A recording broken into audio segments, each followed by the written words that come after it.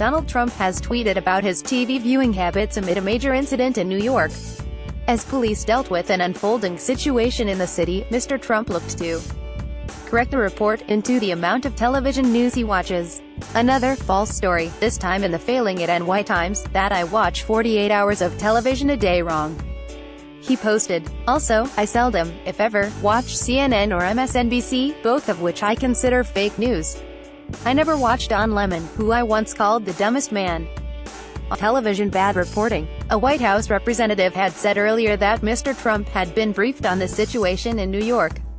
At POTUS has been briefed on the explosion. In New York City, Press Secretary Sarah Sanders posted on her Twitter account. At the time of publication, Mr. Trump had not commented on the unfolding suspected terror incident in his hometown and had only sent that one post directed at the New York Times on the morning of the bomb attack. It was a reference to a piece that claimed Mr. Trump spent at least four hours a day watching TV, and often twice that. It also suggested that Mr. Trump loved to be written about by those newspapers and was obsessed with the attention they gave him, alongside other revelations including his drinking 12 cans of Diet Coke each day. To an extent that would stun outsiders, Mr.